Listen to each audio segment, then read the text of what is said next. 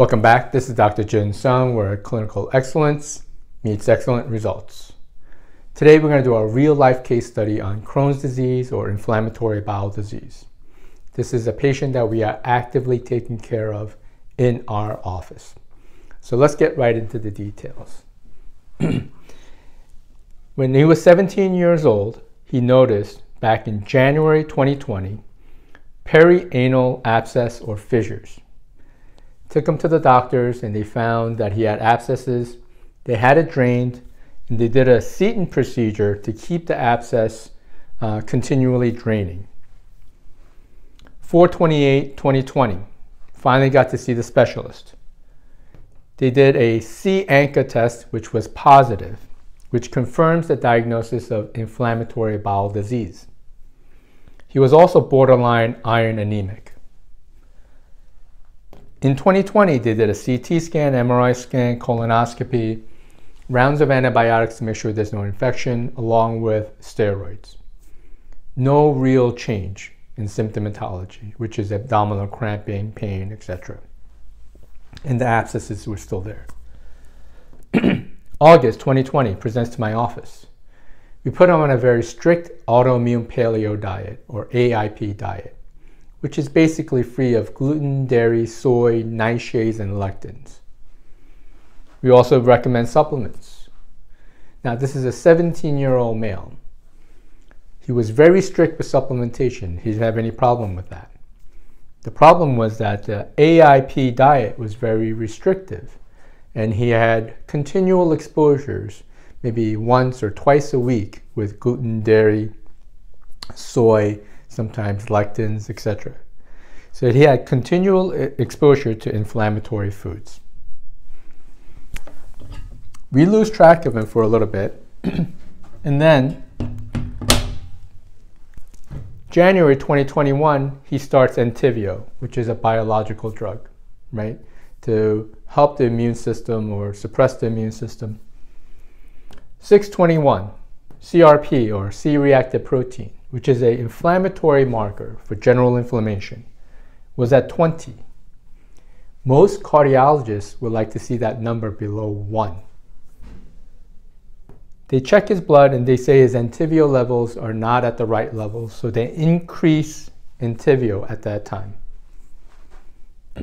January 22, he's iron deficient and he has lots of inflammation going on. 48.1 double the amount six months ago.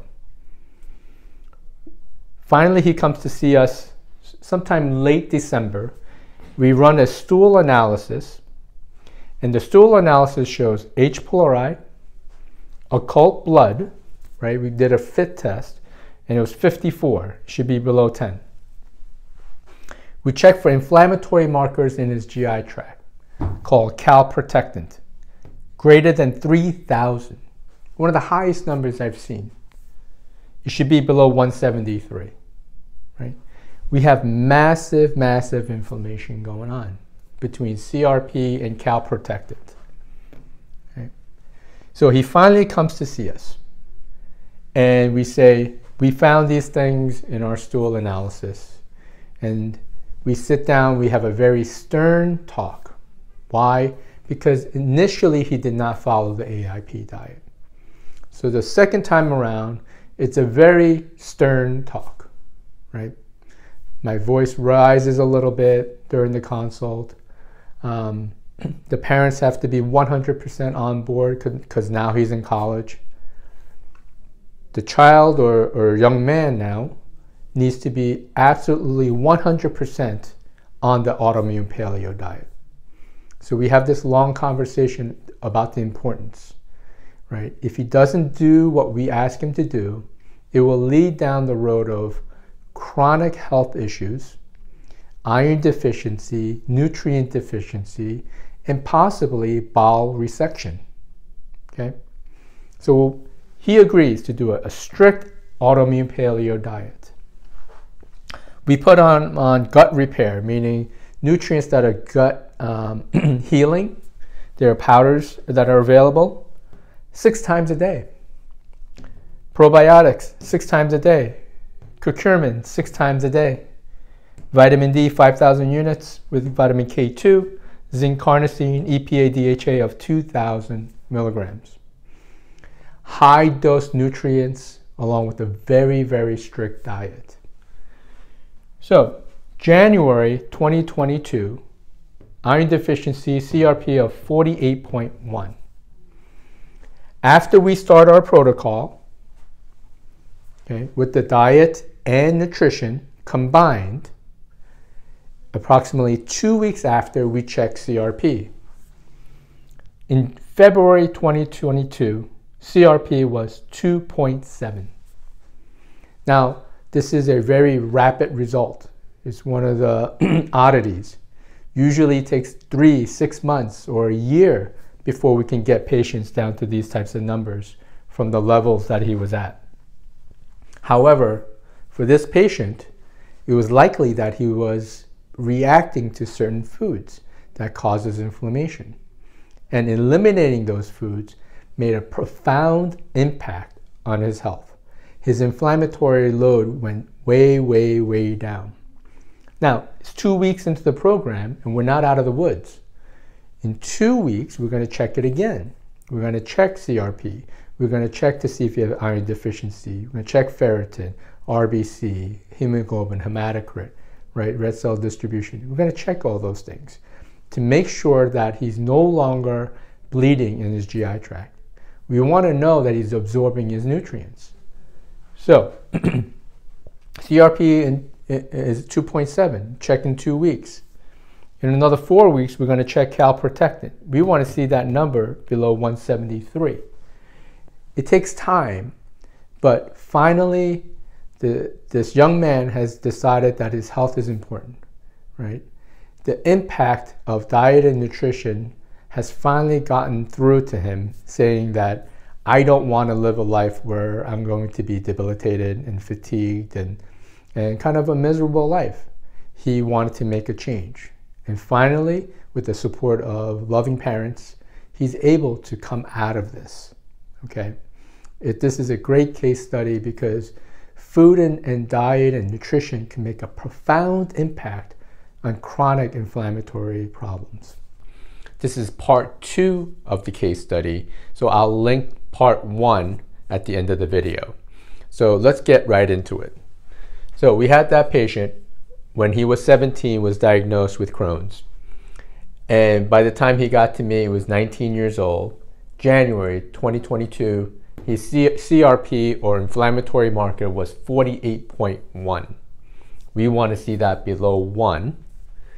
In February, after being on a strict diet with nutritional protocols, two weeks after starting, his CRP went down to 2.7. Okay. When we found out he has 2.7, what we did was uh, we changed his protocol. So we went to gut repair four times a day, curcumin four times a day, vitamin D, K, uh, zinc, and EPA DHA.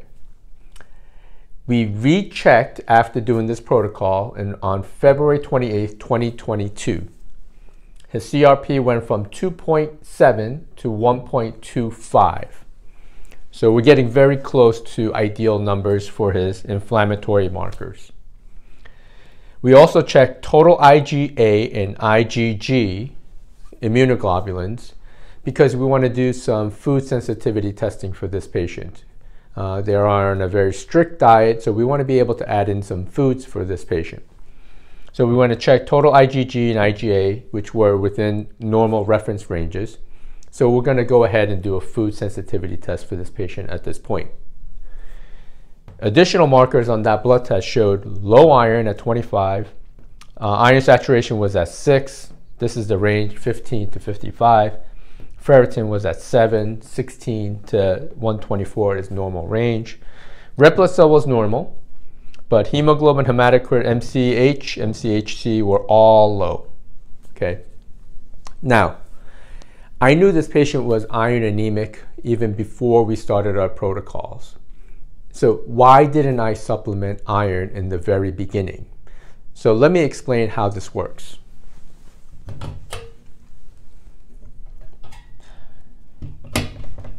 One, he's not absorbing iron uh, very well. And two, when he came in, he still had a small, probably GI bleed, which was confirmed on our stool pathology testing, where his FIT test uh, showed blood. So, one, he was um, losing blood, and two, he was highly inflamed. So, when you're highly inflamed, you produce hydrogen peroxide as a uh, when this tissue is damaged and there's inflammatory processes going on, you have something called hydrogen per peroxide that's produced. Now, if you add iron to hydrogen peroxide, you're going to get something called the Fenton reaction. Okay, and this doesn't happen to every patient, but in some patients, you're going to have a Fenton reaction. What that means is that iron will react with hydrogen peroxide, and you're going to get a hydroxyl free radical, or what we call a react, reactive oxygen species. When you have elevation of reactive oxygen species, what you're going to do is create more damage. You're going to damage more tissues, not just in the GI tract, but in other areas. So in order to prevent the Fenton reaction or the possibility of a Fenton reaction, we avoided using iron until we got his levels, uh, his inflammatory markers down into the more normal ranges. So we were able to do that. So that's my rationale as to why I did not supplement a patient with iron in the initial phases, even though he was iron anemic, because he had inflammatory processes still going on. Now, what are our next steps? So our clinical thought process is we want to add more foods. So adding foods is an important factor for this patient uh, because we're on a very strict, what we call autoimmune paleo diet. So what we want to do is we're going to check for food reactions. We're going to do an IgG, IgA testing through Cyrex Labs, and we want to see if gluten alternatives are going to be safe for him. So remember, I did an IgG and IgA total in the blood work to see if he's going to have a proper immune response to any foods that he's going to be sensitive to. Now we're going to do the food test through Cyrex Labs. Cyrex. We're going to continue to monitor his CRP and his iron markers over the next four weeks. And then at this point, we're going to add vitamin C, ferrous bisglycinate chelate, which is iron, and betaine hydrochloric acid. So at this point, we're adding iron, and then we're doing some food sensitivity testing, and then we're going to do some follow-up labs to see if his iron deficiency will improve. On another note, he had two follow-ups uh, with this specialist, right? Uh, the Seton uh, apparatus or procedure that was done was removed on his last visit, which was this past week. The doctor who removed it said his inflammatory bowel issues are pretty much gone. He doesn't see any damage there, and it was removed. He went to see his gastroenterologist also and showed them the blood work that we did for him. And at this point, he's able to get off of his medication, Entyvio. So basically, they stopped Entyvio. Um, inflammatory bowel or Crohn's disease is in remission at this point but we still have some work to do, right? We want to get this patient to optimal health, not just feeling better, but we want to get them to an optimal level and we want to start adding foods so that his quality of life will start to improve.